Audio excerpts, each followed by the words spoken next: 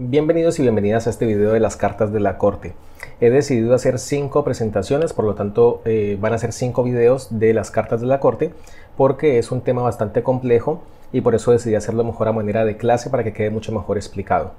En las cartas de la corte del tarot tenemos 16 personajes, tenemos 4 personajes por cada uno de los palos y estas cartas de la corte representan personas como tal o formas de, de actuar o personalidades del tarot entonces estas cartas nos pueden describir a personas que están haciendo algún tipo de efecto en la lectura o nos puede indicar también la manera en que nosotros actuamos o deberíamos actuar en cierta situación, por supuesto dependiendo de lo que planteemos en esa pregunta. Entonces vamos a tener cinco presentaciones. La primera eh, presentación va a ser la presentación de introducción para saber de qué trata esto de la carta de la corte, las cartas de la corte. Y después un video para cada uno de los rangos. Tenemos a los pajes, tenemos a los caballeros, tenemos a las reinas y tenemos a los reyes. Pero es muy importante saber de entrada cuáles son las energías que se manifiestan en una carta de la corte y eso es precisamente lo que vamos a ver en este primer video de introducción. Bueno, vamos a la siguiente diapositiva. Y aquí vemos entonces una pequeña descripción que nos dice que las cartas de la corte muestran un aspecto de la personalidad que refleja las características del palo, o sea, su elemento y el rango de nivel de experiencia. Entonces, como les decía antes, tenemos familias de la corte, es decir, tenemos la familia de bastos, tenemos la familia de copas, tenemos la familia de oros y la familia de espadas. Y a su vez dentro de estas familias hay diferentes rangos, por eso tenemos cuatro personajes. Y esos rangos nos muestran niveles de experiencia, comenzando desde el paje, que es el más joven y menos, y menos eh, experto, o sea, el más inexperto, y después tenemos la carta de caballero, después la reina y después el rey. Entonces son estos los diferentes rangos que encontramos en cada una de estas familias. Entonces cada carta de la corte muestra la manera de actuar en las situaciones narradas en una tirada. Bueno, sumado a esto vamos a tener en cuenta eh, el palo al que pertenece eh, cada uno de estos personajes, la energía que manifiesta, porque tenemos obviamente, como ustedes saben en el tarot, energía femenina y masculina, y tenemos lo que mencionaba antes, esto de la experiencia de joven o de maduro y por lo tanto inexperto y experto respectivamente. Bueno, tradicionalmente el rey ocupa el rango de mayor jerarquía y la sota el último como la figura de menor experiencia, conocimiento o madurez de la corte. Entonces, si vemos esto desde mayor a menor, desde quién tiene, digamos, como la mayor jerarquía o poder en esta, en esta familia de la corte, tenemos entonces en la cabeza al rey, después a la reina, después al caballero y después al paje. Entonces, cada uno de estos personajes está asociado a un elemento determinado. Entonces, es decir, cada rango de la corte representa un elemento del tarot. Ustedes ya saben que tenemos los cuatro elementos, los cuatro palos, por lo tanto. Pero a su vez, cada personaje representa a su familia de la corte. Entonces, tenemos, por ejemplo, el rey, es decir, todos los reyes, representan el elemento de tierra de su palo. Es decir, por ejemplo, si tenemos el rey de espadas, entonces el rey, por ser rey, representa la tierra y como es de la familia de espadas, entonces representa la familia del elemento de aire, o sea, de los pensamientos y todos los significados que podemos asociar a las cartas de las espadas. Entonces, todos los reyes van a ser tierra de su respectivo elemento y las reinas van a ser el agua de su respectivo elemento. Entonces, la tierra que representa, en este caso representa el sustento, la estructura o el orden, es decir, el mayor rango de estructura o de mayor conocimiento o de mayor eh, estabilidad, digamos, de ese elemento, ¿no? Después tenemos a la reina que representa el agua y el agua representa entonces a los sentimientos, el cuidado, la introspección. Entonces una reina, eh, digamos, de oros representa entonces agua por ser una reina, y como es de la familia de oros representa entonces a la tierra entonces sería como los sentimientos puestos en la materia, por así decirlo, o en la manifestación. Y después tenemos al caballero que representa el fuego, o sea, todos los caballeros son elemento fuego y representa la energía vital, la pasión y la chispa que genera la acción en una situación. Entonces, como tenemos aquí en la imagen, el caballero de copas estaría representando en sí mismo el elemento de fuego por ser un caballero y está representando a la familia de las copas, el elemento de agua. Entonces, el caballero de copas pone su acción o su energía o su pasión ¿En qué cosa? En las copas que son los sentimientos. Entonces el caballero de copas sería como una mezcla de elemento fuego por ser un caballero y de elemento agua por ser el caballero de copas. Entonces se mueve o su pasión o su energía o su acción, lo que sea, está motivada por los sentimientos. Y finalmente tenemos a los pajes o sotas que representan al elemento de aire, es decir, todas las sotas representan el aire. Y esto sería que representan los pensamientos volátiles, el estudio, las ideas, los mensajes, las propuestas, las planificaciones, los proyectos, por supuesto, de cada uno de los elementos. Entonces sería como que un, paje de, o una sota de, bastos sería entonces elemento aire por ser sota y como es de bastos entonces sería fuego. Entonces combinamos esos dos elementos para encontrar una descripción afín a, a, este personaje, ¿no? a cada uno de los personajes. Bueno, vamos entonces a la siguiente diapositiva. Aquí tenemos cómo analizar una carta de la corte. Entonces siempre que vamos a analizar una carta de la corte vamos a tener en cuenta su elemento, es decir, al palo al que pertenecen. Entonces la reina de eh, oros pertenece al elemento de tierra, ¿no? O sea, es la familia de los oros y por lo tanto es, eh, como es reina, entonces es agua de los oros, ¿no? Ella en sí misma es el agua, representa el elemento de agua, combinada con, eh, digamos, eh, su familia o su elemento familiar que serían los oros. Vamos a tener en cuenta el rango, es decir, si es una reina, si es un rey, si es un caballero o si es una sota, porque esto es importante para saber el, el, grado de experiencia, ¿no? Entonces, si tenemos un rey o tenemos una reina, tenemos personajes maduros que saben manejar su energía Mientras que si tenemos personajes más jóvenes o inmaduros o inexpertos como el azote del caballero, entonces no van a estar seguros de su potencial o están experimentando o están eh, proponiendo o están analizando una situación, pero todavía no se encuentran como tan seguros como lo estaría el rey y la reina. Bueno, entonces estos son los elementos, eh, digamos, como claves para poder tener en cuenta y combinarlos. Como les decía, el palo al que pertenece el personaje, el personaje en sí mismo, en su rango qué elemento representa. Si es una polaridad energética masculina o femenina, eso es importante también porque la polaridad eh, masculina es activa y la polaridad femenina es introspectiva o pasiva. Entonces, las activas obviamente buscan más acción, mientras que las introspectivas lo que buscan es análisis de una situación, por ejemplo, o cultivar una situación. Es decir, aquí en esta diapositiva tenemos al rey de espadas, entonces el rey de espadas tiene una personalidad que es masculina activa porque es el rey, obviamente. Tenemos que es una personalidad madura que está manifestando las características propias del elemento de aire, o sea, las espadas. Entonces, eh, las espadas nos habla de estructuras, pensamientos, ideas, comunicación también. Y tenemos que tener en cuenta que este rey, más allá de que es un personaje de espadas, representa en sí mismo la tierra porque es un rey. Entonces vamos a combinar entonces la tierra con el aire. Así que esta combinación de los dos elementos nos da una persona meticulosa. ¿Por qué razón? Porque tenemos tierra que nos habla de algo muy seguro, muy firme, muy estructurado. Y como tenemos aire, entonces estamos hablando de pensamientos, de planes, que es una persona entonces como es madura y es de aire y es de espadas, nos habla entonces de una persona que es muy meticulosa, una persona que es muy analítica, una persona que es muy inteligente, una persona que piensa mucho, ¿no?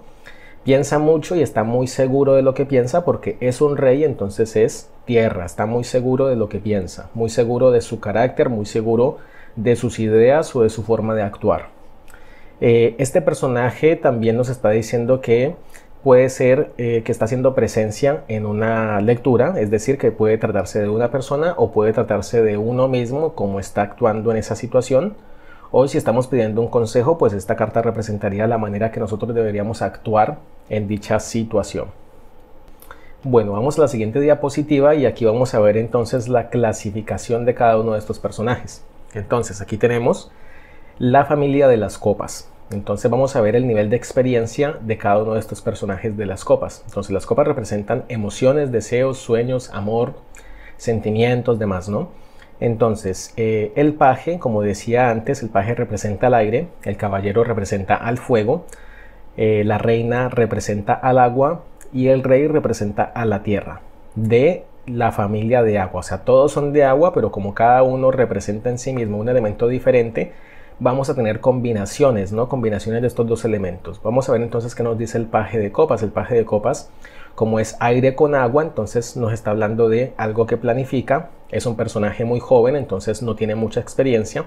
Es un personaje que es inocente, un personaje que es enamoradizo, tengamos en cuenta también que la sota como tal representa a una, mm, digamos, una personalidad femenina, ¿no? No necesariamente tiene que ser una mujer, puede ser un hombre, por supuesto, sino que en el punto este de polaridad energética de si es masculino si es femenino, la parte femenina es introspectiva, entonces nos dice que de pronto no actúa mucho, sino que planifica. Entonces como que usa mucho la mente, por así decirlo, con ese aire, porque el paje es un aire, o la sota es, es aire. Entonces planifica, piensa, sueña mucho con respecto a cuestiones de agua, o sea, de los sentimientos, de los deseos, de los sueños. Entonces nos muestra que es una persona que tiene, digamos, como sus deseos, emociones, sueños o amor, digamos, como todavía en el aire. No lo logra manifestar como si lo haría, por ejemplo, el rey de copas, que ya es tierra con agua, entonces está muy seguro de esas emociones, de esos deseos, de esos sueños y demás. Después tenemos al caballero de copas, entonces este caballero es fuego con agua, porque agua son las copas. Entonces tenemos que este personaje es activo, es apasionado por el, por el elemento de fuego, él en sí es fuego, apasionado, motivado, demás, por cuestiones sentimentales. Entonces como esta es una carta activa, es una carta de un personaje masculino, nos está mostrando entonces que el caballero de copas se estimula o se apasiona o se motiva por cuestiones sentimentales. Entonces el caballero de copas es la persona que está buscando una relación, que se encuentra motivada con su carrera, una persona que se encuentra eh, muy dispuesto, muy preparado para seguir sus impulsos, sus sueños, la búsqueda del amor y demás. Después tenemos a la reina, que la reina sería entonces agua con agua, porque entonces aquí tenemos ella es agua y ella representa también a las copas, entonces es doblemente agua. ¿Qué tenemos entonces acá? Tenemos una persona que está, eh, digamos, como cargada con esas dos energías, es doblemente agua, entonces evidentemente podemos deducir que se trata de una persona muy eh, devota a sus emociones, una persona muy entregada a sus pasiones, una persona muy eh, sobreprotectora también porque esta carta ya es una reina, entonces representa un nivel de madurez mucho mayor. Esta podría ser, por ejemplo, una madre. Entonces esto como es agua con agua, nos está mostrando un carácter incondicional, ¿no? Muchos sentimientos, agua al doble, entonces es sentimientos, emociones, deseos al doble. Entonces es muy entregada y muy devota eh, a quien desea y a quien ama. Y finalmente tenemos al caballero, perdón, al rey de copas, que representa entonces la tierra del agua. Entonces, como es tierra, es firme, como es tierra también es eh, muy seguro, entonces es muy seguro de que de sus sentimientos, de sus emociones, de sus deseos, de sus sueños, de su amor. Entonces el, el rey de copas sería entonces como este personaje que representa al padre o la persona que se preocupa por cuidar, porque recordemos que es copas de sentimientos, entonces es firme pero cariñoso, es protector y es decidido con lo que quiere. Entonces un caballero, perdón, un rey de copas nos está mostrando que está muy seguro de lo que desea, de sus emociones, de quién quiere, de qué es lo que desea hacer con su vida, de con quién desea estar, es muy seguro realmente de sus sentimientos. Y como vimos en algunos, eh, algunos videos que hemos visto hasta el momento, el rey de copas flota sobre el mar, ¿no? Entonces flota sobre las emociones. Entonces es tan firme que él no se deja hundir como por los vaivenes o los altibajos emocionales. Entonces esto sería como una descripción a grandes rasgos de cómo podríamos clasificar a cada uno de estos personajes de acuerdo al elemento que representa y la familia a la que pertenece. Bueno, seguimos con la siguiente familia que es la familia de las espadas, el palo de las espadas. Entonces, ¿qué representan las espadas? ¿Qué energía marcan las espadas? Representan entonces ideas, proyectos, ideales, eh, planes, eh, madurez mental, inteligencia, eh, sagacidad también, ¿no? Entonces aquí vamos con lo mismo, cada personaje representa un elemento de su familia. Entonces los pajes son el aire, los caballeros son el fuego, las reinas son el agua y los reyes son la tierra. Y en este caso como tenemos las espadas, todos estos personajes representan a la familia de los pensamientos, ¿no? De las ideas y proyectos como venimos diciendo en el título de esta diapositiva. Entonces el paje de eh, espada sería entonces la combinación de aire, porque es paje, es sota, entonces las sotas son aire, y como es del palo de las espadas, representa también el aire. Entonces esto es aire al doble. ¿Qué representa aire al doble? Entonces, sí, muchas ideas, muchos proyectos, mucha inteligencia, mucho uso de la cabeza también, pero como no se balancea con otro elemento, sino que es aire con aire, entonces todo queda en el aire, todo es como volátil, todo es inestable, todo es como en la cabeza, en los pensamientos, pero no materializado, ¿no? Entonces esto puede llevar a ser inconsistente. Una persona que es muy inteligente, que tiene muchas ideas, pero entonces no logra bajar a tierra todos esos proyectos, se queda todo como en el aire. Entonces esto representaría esa carta. Después tenemos allí al caballero, que caballero es fuego con el aire, entonces el aire son las ideas, los proyectos, planes, demás.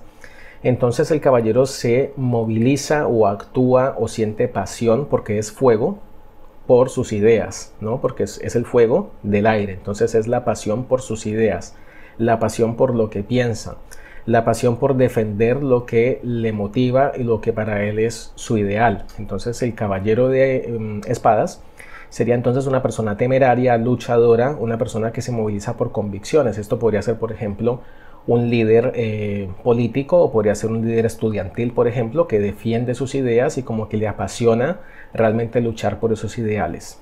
Después tenemos a la reina de espadas, y aquí tenemos el agua con el aire. Entonces, agua nos habla de sentimientos y aire nos habla entonces de los proyectos, las ideas y demás, la parte mental. Entonces, ¿qué nos dice esto? Nos está diciendo que ella sentimentalmente se encuentra muy comprometida con sus ideas, con sus proyectos, con eh, sus ideales. Entonces, nos está diciendo que ella es comprensiva hasta cierto punto. La carta de la Reina de Espadas no es muy comprensiva que digamos, hasta cierto punto pero es una persona realmente entregada. Recordemos que el agua nos habla, el agua nos habla mucho de entrega, ¿no? De sentirnos como con esa motivación para entregarnos a algo.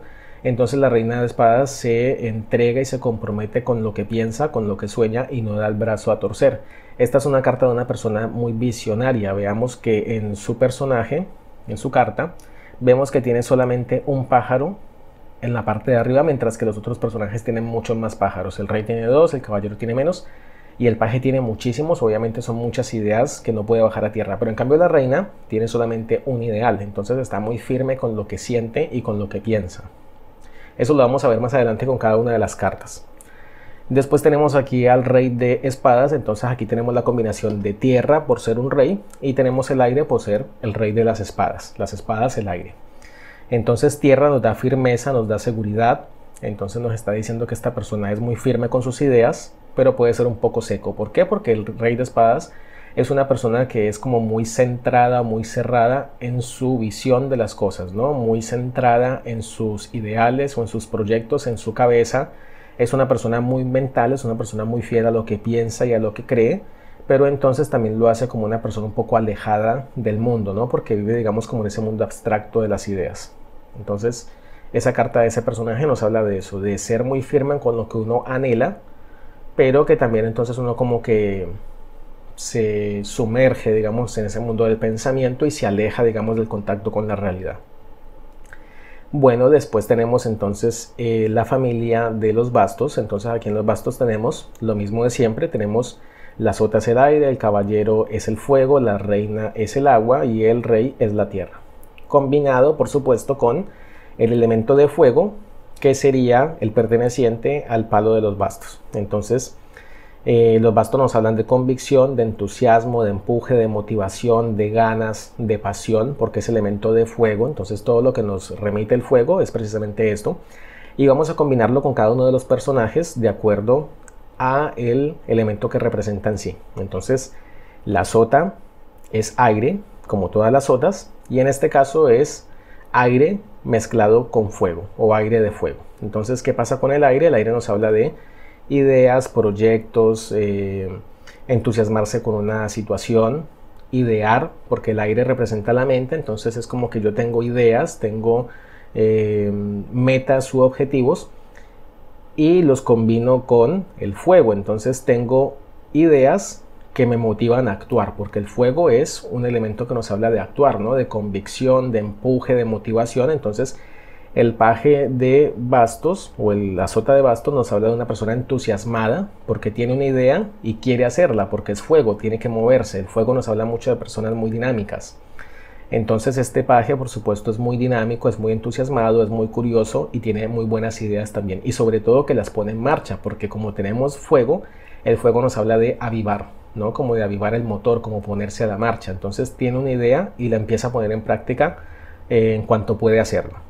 El caballero nos está mostrando en este caso que es fuego por ser un caballero y como es de bastos entonces es también fuego, entonces es fuego con fuego. Esto tiene una combinación bastante interesante pero peligrosa también porque tenemos doblemente fuego. Entonces, ¿qué pasa con esto? Nos está hablando de mucho riesgo, mucha motivación, mucha convicción, pero como es tanto fuego, nos está diciendo que quizás actuamos sin pensar, nos dejamos llevar por las emociones del momento, ¿no? Por el fuego del momento, la chispa del momento. Entonces, el caballero de fuego, perdón, el caballero de bastos, evidentemente pues el, caballero de fuego, nos está diciendo que es un personaje arriesgado, un personaje que no tiene miedo y que siempre necesita acción. Es el más activo de todos porque es fuego con fuego. Después tenemos a la reina, que la reina sería el agua por ser una reina de fuego, por ser de, la familia de los bastos. Entonces, como es agua, nos está diciendo que ella se motiva, que ella se entrega emocionalmente, que ella siente también la necesidad de actuar, la necesidad de empujar, la necesidad de motivarse, entonces, evidentemente, esta mujer es una mujer o u hombre, porque puede ser también obviamente representando a un hombre en una tirada, simplemente nos habla de una personalidad. Nos está hablando de una persona muy motivada, una persona que es muy luchona, una persona que no se rinde, una persona muy optimista. Básicamente esto podría ser como una madre, evidentemente porque es una reina. Entonces es una madre que siempre se entrega porque es agua, las, reinas son muy entregadas, se entregan a hacer lo que sea necesario para salir adelante porque representan la convicción, el entusiasmo y las ganas de, sobresalir, ¿no? de salir adelante. Entonces esa representa la carta de la reina de, de bastos. Y finalmente tenemos a el rey de bastos, que sería entonces la combinación de tierra con fuego. Entonces, como es tierra, es muy seguro. Como es tierra, nos habla entonces de materializar, porque la tierra nos habla de eso, de solidificar la energía de su palo. Entonces es la energía digamos por así decirlo, más fuerte, más experimentada, más controlada de la familia de los bastos.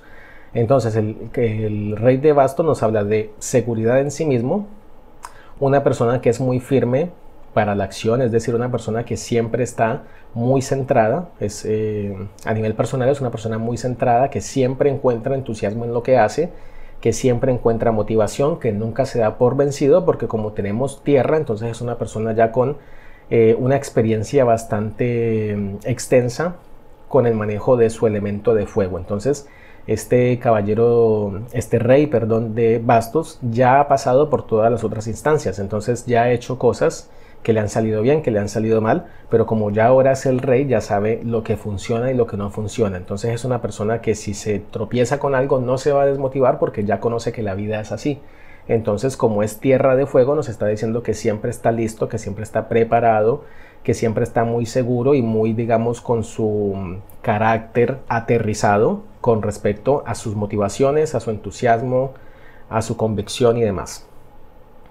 Y finalmente, para terminar, tenemos aquí la familia de los oros. Entonces, aquí vamos con lo mismo. Tenemos entonces que los oros representan la energía de la tierra. Entonces, la tierra nos habla de materializar, de crear, de asegurar, de ganar, de disfrutar, porque la tierra es el elemento que nos habla de el disfrute y los placeres, digamos, a nivel material, ¿no? Corporal. No solamente una cuestión de dinero, sino que nos habla de nosotros darnos lo que nos merecemos o necesitamos para vivir bien. Entonces, los oros representan el bienestar en general, no solamente el dinero, sino también como tener una buena salud, por ejemplo, la salud está representada por los oros, la salud, la tranquilidad, la estabilidad, la familia, también los valores familiares y demás.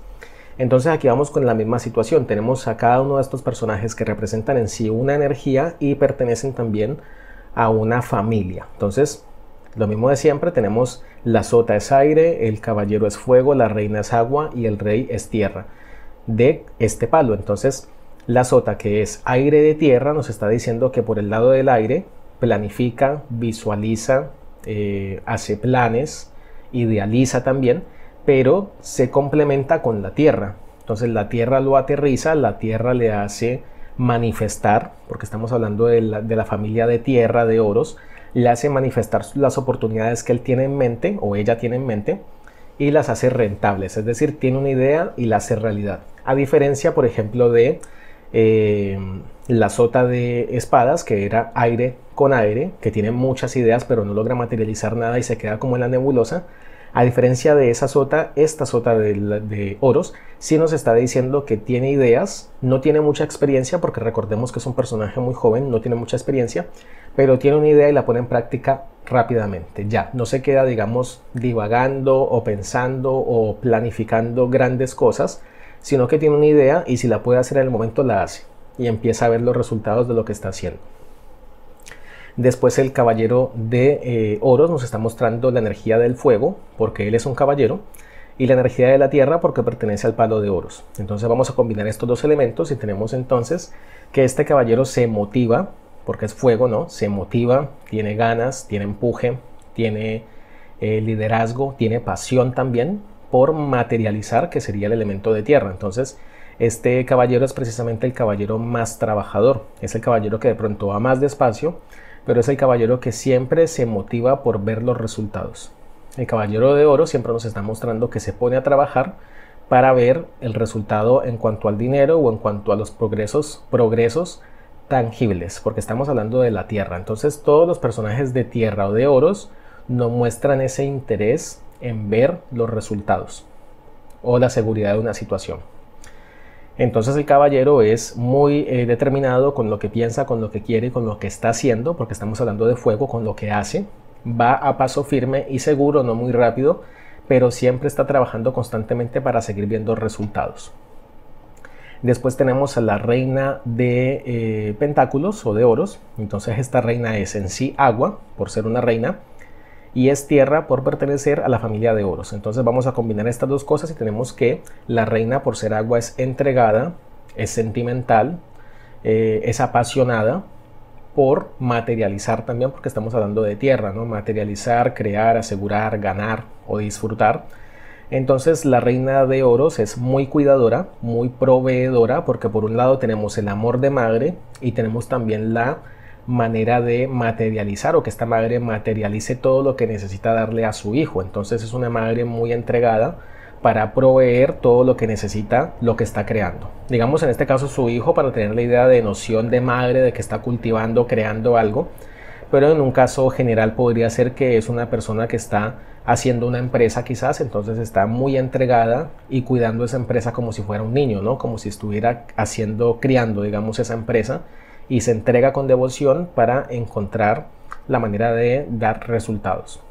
Y finalmente tenemos al rey de pentáculos que nos está mostrando el doble elemento de tierra, porque es tierra por ser un rey y es tierra por ser del elemento del palo de los pentáculos u oros. Entonces, aquí tenemos doblemente tierra. ¿Qué pasa con esto entonces? Como es doblemente tierra, nos está hablando de una gran potencia para materializar, para crear, para asegurar, para disfrutar. Entonces el rey de oros es el rey Midas, el rey que todo lo convierte en oro, el rey que siempre consigue lo que desea. Es un personaje muy tradicionalista y es un personaje que va siempre por lo seguro, porque el rey, ¿qué pasa? Es tierra con tierra, él no se va a quedar divagando en proyectos o en ideas o en cosas que no sabe cómo, cómo materializar o que no está seguro si van a dar un buen resultado. El rey de oro siempre va a ser lo que él sabe que funciona y lo que le da resultado y lo que le da ganancias. Entonces el rey de oros, por ejemplo, sería el excelente jefe o empresario porque es una persona madura, porque es un rey, por supuesto, es una persona madura, es una persona con gran experiencia y es una persona con gran dominio de su elemento de tierra porque lo tiene al doble.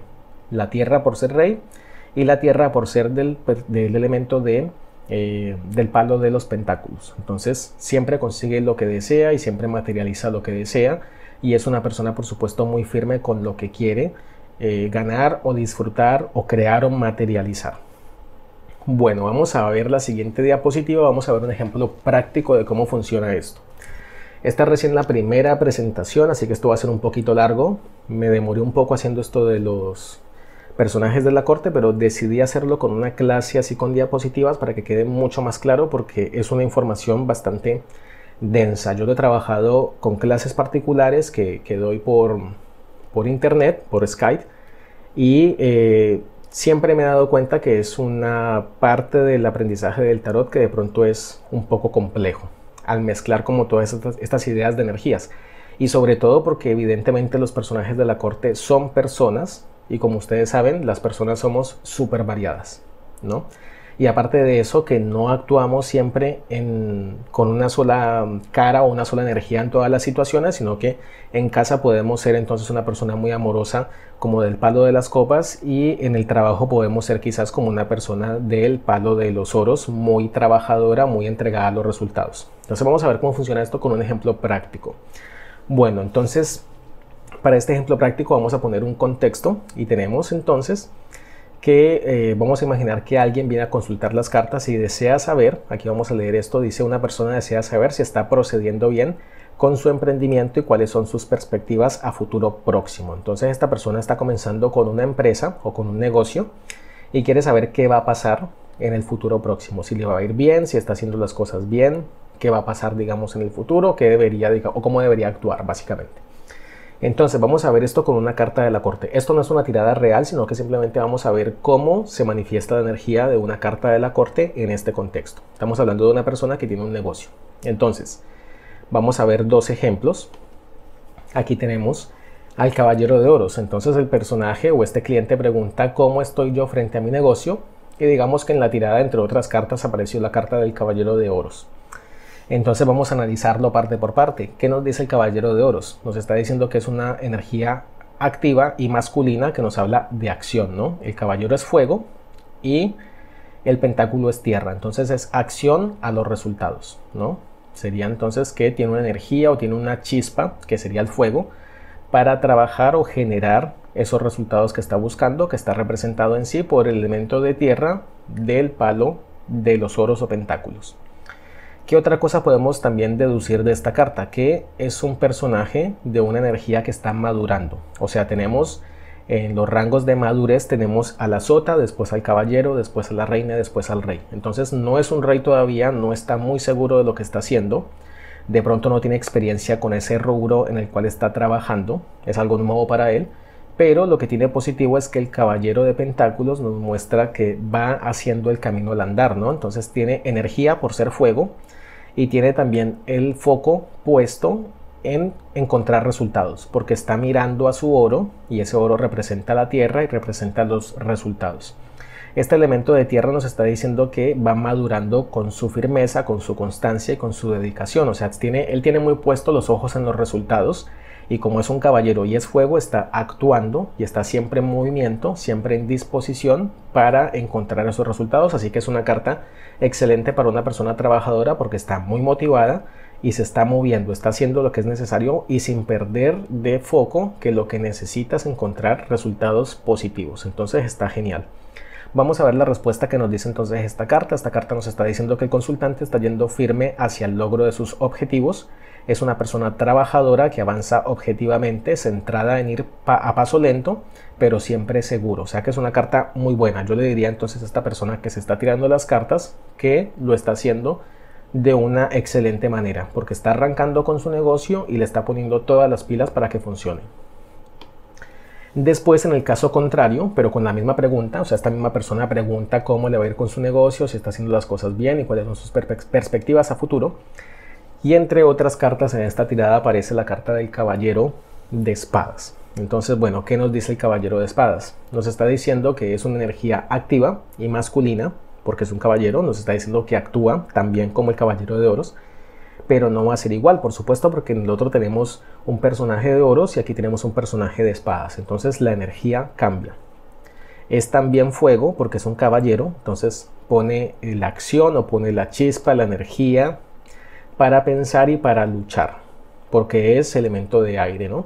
Pero ustedes ven en la misma imagen, más allá del análisis, que el caballero de eh, oros es como mucho más tranquilo, mientras que este caballero de espadas es muy arrebatado, está eh, moviéndose en contra del viento, ¿no? En contra de la tormenta, por así decirlo, ¿no? Entonces como que va en contra de algo.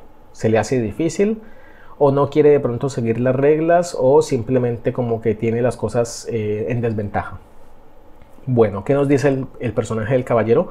También es una energía que está madurando, porque obviamente no es el rey todavía, está haciendo camino al andar y está enfrentando pruebas y dolor, porque la carta del caballero de espadas nos está mostrando que no es un camino fácil y está luchando por ideales quizás muy altos. Estamos hablando de espadas, ¿no? De ideales, de cosas que planifica, que desea, pero estamos hablando acá de un negocio. Entonces, estamos hablando de un negocio, lo ideal para un negocio es ir por los objetivos, que se manifiesten. No tanto por hacerse grandes expectativas o grandes proyectos, sino que arrancando un negocio lo importante es ver resultados pronto para saber que uno está haciendo las cosas bien y puede ir por ese mismo camino. Entonces aquí la cosa es muy diferente a la carta del caballero de oros. Entonces el camino es difícil, tiene una actitud de lucha, por supuesto. El caballero eh, nos está mostrando que puede correr el peligro de perder el control, ¿no? Porque va, fíjense ustedes en la posición de, las patas de este caballo, está corriendo a toda velocidad, mientras que el caballero de, de pentáculos o de oros está muy tranquilo, viendo cómo hace su trabajo. Entonces ahí ya vemos que este no es tan bueno como el anterior. Este personaje nos habla del, del elemento de aire, así que defiende sus ideales, sus ideas, defiende a capa y espada su posición. Entonces aquí que vemos con esto. Yo no lo veo tan favorable porque nos está mostrando que es una persona que desea algo, pero no sabe de pronto cómo conseguirlo, ¿no? O digamos que es una carta no tan favorable para el contexto de la pregunta que estamos haciendo. Estamos hablando de trabajo, ¿no? Si estuviéramos hablando de pronto de un estudiante, un líder político o demás que defiende una postura o una filosofía o un ideal, estaría perfecto porque nos está mostrando que es una persona que no da brazo a torcer. Pero si estamos hablando de una persona que quiere saber si su empresa va bien, si su negocio está comenzando firme, pues aquí en esta carta no estamos viendo firmeza porque no tenemos un elemento de tierra, mientras que el caballero de espada, de, de, pentáculos, sí nos está mostrando que su energía está puesta en la tierra, en manifestar los resultados mientras que acá no estamos viendo que su energía esté manifestada en los resultados, sino que la energía está puesta en grandes ideales. Entonces, es una carta que nos está diciendo que no es tan favorable como la anterior. Vamos a ver cuál es la respuesta para esta persona. Esta persona entonces nos está mostrando que rema en contra de la marea, porque tiene muchas cuestiones eh, en contra, por así decirlo, como lo vemos en la carta puede estar deseando algo por fuera de su alcance o puede ser terco también y arrebatado. Esto lo vamos a ver en cada una de las cartas dedicadas precisamente a un análisis más profundo, pero a grandes rasgos vemos que es una persona como que está arrebatada, que está tomando decisiones en caliente, que actúa digamos sin pensar eh, dos veces las cosas, que debe calmarse porque evidentemente el personaje del caballero de espadas se ve que está muy arrebatado, está corriendo, está muy impulsivo para la toma de decisiones mientras que el caballero de oros es todo lo contrario, es mucho más tranquilo y está enfocado en los resultados. Así que digamos que la carta del caballero de oros sería mucho más favorecedora para la consulta que la otra carta. Entonces así vamos a ver cómo se diferencian los personajes cuando hacemos una lectura, dependiendo de qué un personaje es mejor para tal cosa o para la otra. Bueno, esto es todo por ahora. Si les gusta este video pueden compartirlo con sus contactos, compártanlo en sus redes sociales. Eh, también eh, tomen nota para tenerlo en cuenta, que vamos a ver entonces cuatro clases que vienen pendientes para esta parte dedicada a las cartas de los personajes de la corte, que como decía antes son bastante complejas. Así que esto es todo por ahora, nos vemos en el siguiente video dedicado a las sotas y más adelante tendremos entonces un video para cada uno de estos rangos de los personajes de la corte. Nos vemos en el siguiente video y hasta la próxima. Chao.